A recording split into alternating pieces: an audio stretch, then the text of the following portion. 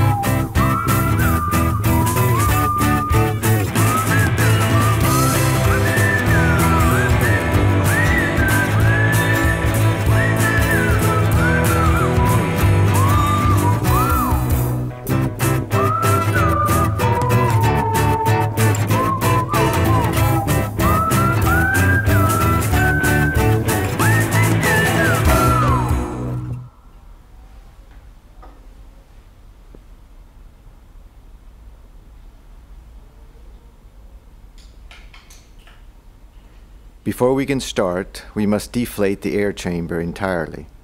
It is best to use the backside of the valve cap for this. Now we can start dismounting the lowers. We place the fork slightly upwards in the stand and unscrew the lower on both sides. Here we can use the long 4mm Allen key.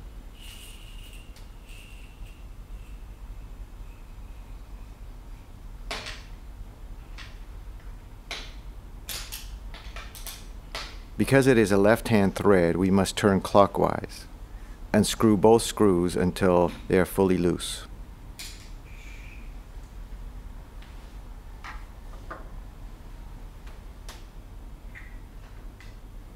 To slide out the lowers, we place the fork in a downward position.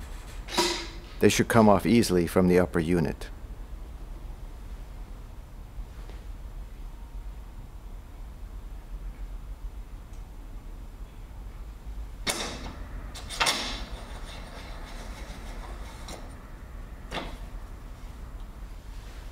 Off the steel spring with the fingers. Now we can remove the foam rings from the under of the main seals. The foam rings must be replaced on every service.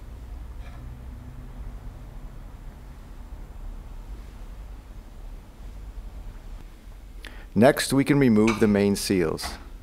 It's best to use the tire lever. Main seal should be replaced at least once a year. If the seals are worn out or damaged, they should be replaced.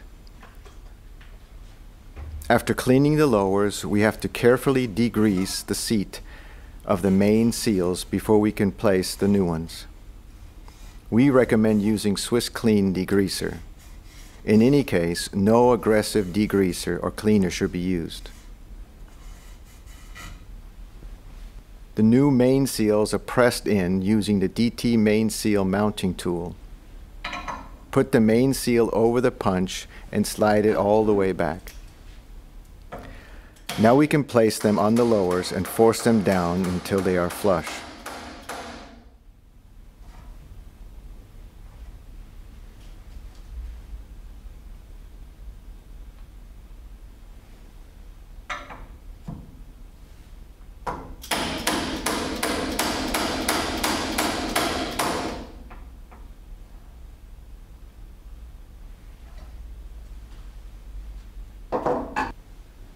In the next step, we will fit the previously DT Swiss lube fluid soaked foam rings below the main seals.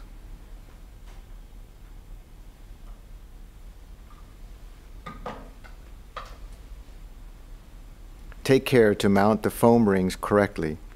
Use your fingers to push them below the main seals and make sure they are not twisted.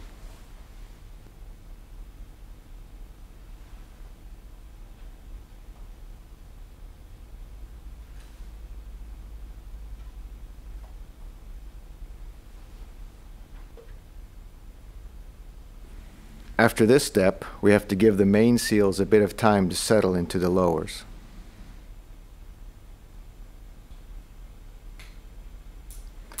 To remove the smalley ring, it is best to carefully pry it out with a scriber or similar tool. Remove the smalley ring and take care not to scratch the piston rod of the spring. Move the fork slowly downwards before pulling out the spring from the upper. Push down the air valve while pulling out the spring. That way it comes out easily. Clean the upper inner and outer surface carefully with a textile cloth. Paper towels are not recommended.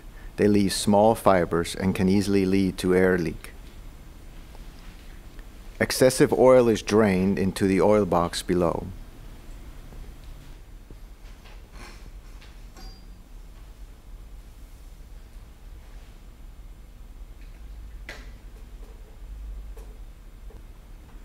Fill the syringe with 2 millimeters of DT Swiss lube fluid and inject it into the upper tube.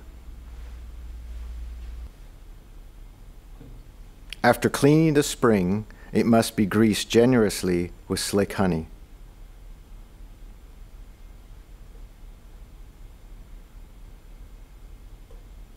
Don't forget to grease the quadring on the outer surface of the air chamber plug, but be careful not to block the air channels on the face side.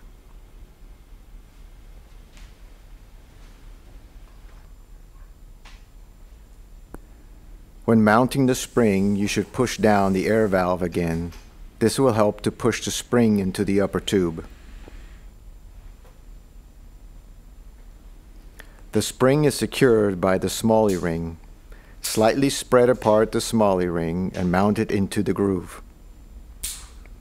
Check if the Smalley ring fits correctly. Try to push out the spring a couple of times to see if the Smalley ring sits correctly.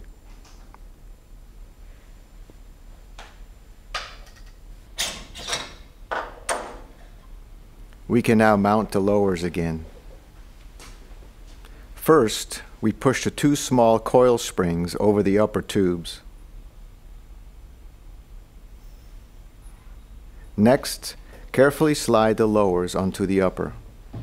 Make sure not to damage or to trap the main seals when sliding the lowers on.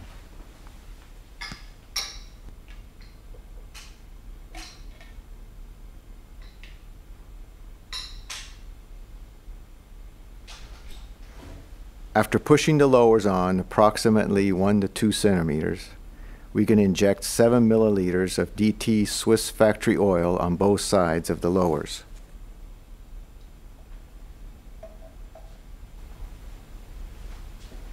The fork should be in slight upward position, allowing the oil to run down slowly into the lowers.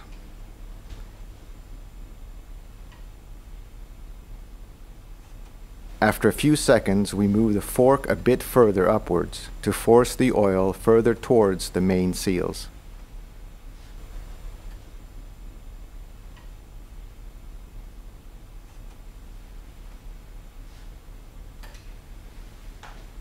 The lowers must be pushed onto the upper by hand, so you can catch the thread on the damper side first.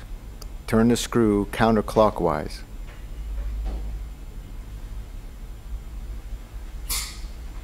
Push the lowers a bit further onto the upper unit. This will allow you to catch the thread on the spring side. Now tighten the screw on the spring side by hand.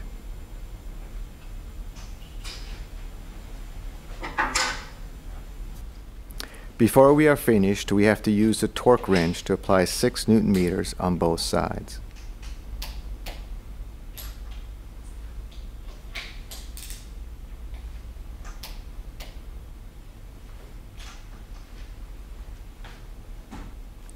Now you can pull the coil springs over the main seals by hand.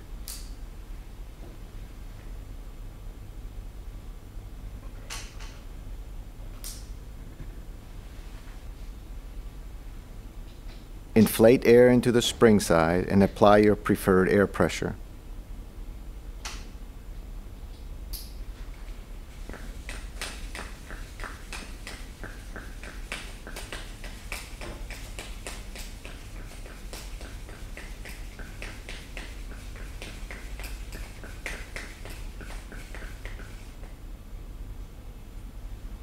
In the last step, we have to screw back on the air valve cap and clean the fork with a soft cloth. Now you're ready to go back on the trails. Take care to follow all the safety instructions of the bike producer and frame maker when mounting your fork.